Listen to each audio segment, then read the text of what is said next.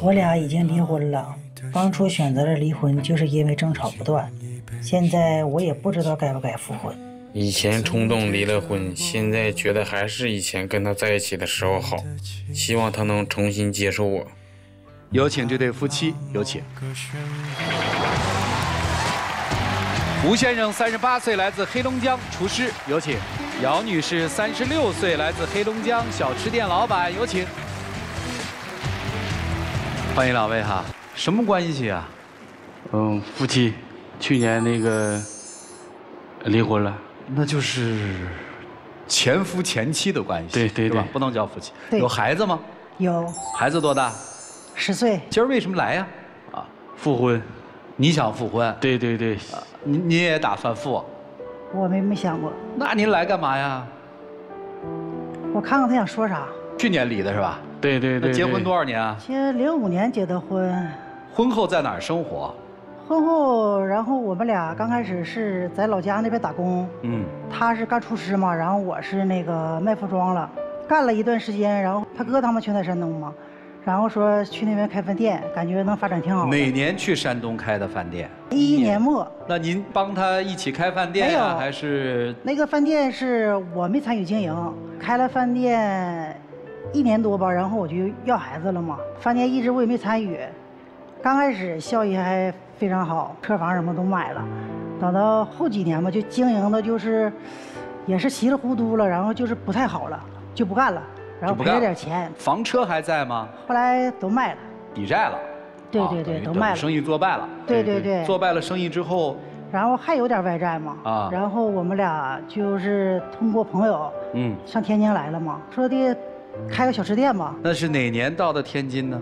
一九年初。一九年初。哦，一九年初，山东的买卖黄了，对，所以来天津开了个小吃店。对对对，这也挺好啊。开了一个小烧烤店嘛。啊。刚开始效益也不是说的很好。对，刚开始没有什么生意，就是毕竟刚开嘛。我说，毕竟你是厨师嘛，要不然你就出去，你再找一份工作，然后这个事儿我自己弄。他刚开始也不怎么想去，后来完我说，我说你去吧。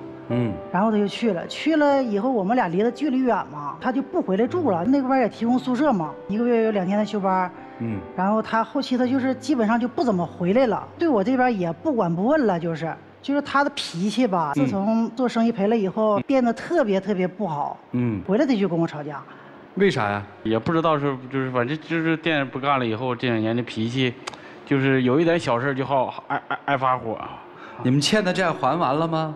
啊，还没有。那等于他开一个店，您还在外面做厨师嘛？嗯嗯嗯。当时怎么分的工啊？我挣的钱嘛，就是维持家里的开销，还有孩子嘛。啊。孩子在我妈妈在老家，我妈妈带嘛。他挣的钱我也不太过问，因为毕竟说的有点债嘛，就是需要还债什么的。嗯。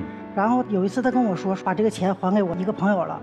然后不长时间呢，这个朋友跟我说，这个钱他没还。钱呢？然后我就不知道钱他去干什么了。我还了一部分，就是没都还。那你还了，那你也没跟我说这事儿啊？我方便问问你们欠了多少外债吗？现在还得有十多万吧。当时欠了多少？当时欠的挺多的。哦，那他就说明钱都在还啊。钱都在还，都是我们俩共同去还的，也不是说他自己去还这个钱的。所以等于说，通过这个事儿发现有欺骗了，是吧？对对对。然后呢？有一次吧，就是我们，毕竟说的那个孩子在老家嘛，我妈夏天的时候要带孩子来，然后我说的租的房太小了，我说不行，咱就换一个房子。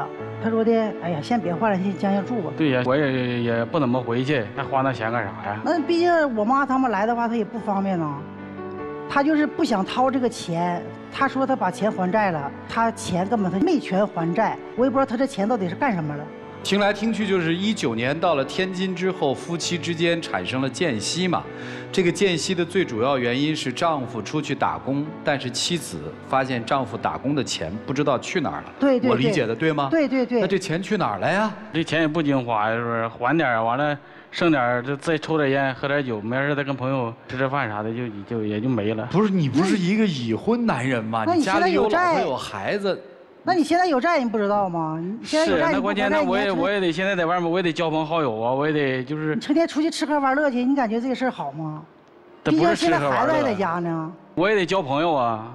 而且最可气的，我就是十二点多钟的时候，我就天天去进货嘛，我自己去进货，进货，然后呢，我回来我还得串串啊，还得打扫卫生啊什么，一直就是营业到凌晨四点钟。有一次就是下雨了，那个雨下的特别特别大，我就是出去搬桌的时候路滑嘛，就给我就是一摔，胳膊就摔坏了。然后我就给他发微信，我说你请假你回来，我说你帮帮我。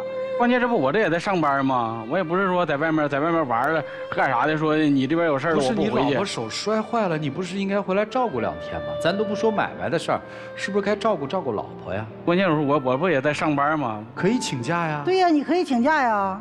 然后后期对我也是不管不问的。这就等于寒了心了，是吧？对呀，我肯定我寒心呐。